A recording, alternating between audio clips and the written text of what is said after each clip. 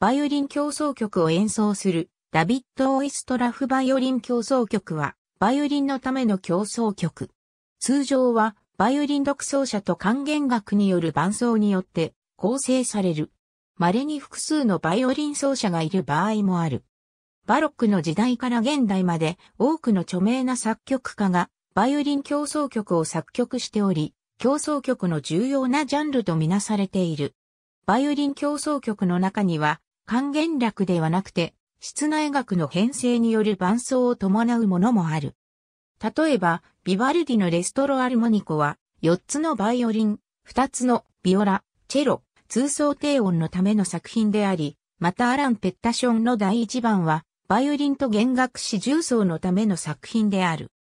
日本では、知名度及び演奏される頻度が特に高いベートーベンのバイオリン競争曲に長調。作品61、メンデルスゾーンのバイオリン協奏曲ホ短調作品64、ブラームスのバイオリン協奏曲ニ長調作品77をまとめて、三大バイオリン協奏曲と呼ぶことがある。